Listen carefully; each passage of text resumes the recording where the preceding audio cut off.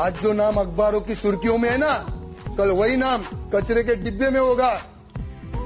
इतना गुरूर ना कर इस शोहरत का मेरे दोस्त। आज तेरी मुट्ठी में कल किसी और के मुट्ठी में होगा। क्या होगा।